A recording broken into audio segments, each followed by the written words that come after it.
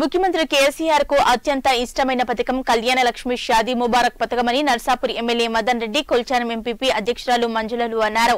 కొల్చారం మండల పరిషత్ కార్యాలయంలో తహసీల్దార్ చంద్రశేఖర్ ఆధ్వర్యంలో కళ్యాణ లక్ష్మి షాదీ ముబారక్ చెక్కుల పంపిణీ కార్యక్రమాన్ని నిర్వహించారు.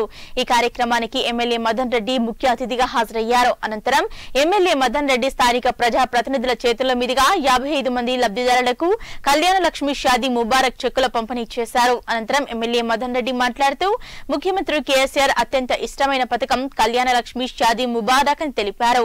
ఈ కార్యక్రమంలో మండల పార్టీ అధ్యక్షులు రాంపల్లి గౌరీశంకర్ రెవెన్యూ సిబ్బంది Srihari Ashwini sarpanch Veerareddy Vishnuvardhan Reddy Chalam Jhansi Yadagiri Manne Srinivas Rajagoud vice MPP Allu Mallareddy TRS party నేతలు ఇంద్రసేనారెడ్డి విజయ్ భాస్కర్ రెడ్డి గజని వెంకట్ గౌడ్ తదితరులు పాల్గొన్నారు.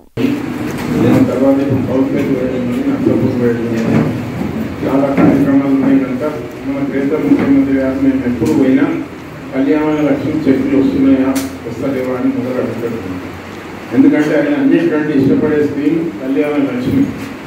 అందరికి పెళ్ళిలు అయితే అందరూ కూడా సంతోషంగా ఉండాలి సుఖ సంతోషాలతో ఉండాలనే ఉద్దేశంతో మన పండుగలు కూడా ఇబ్బందులు అవుతాయని చాలా పెద్ద కార్యక్రమం అంతా.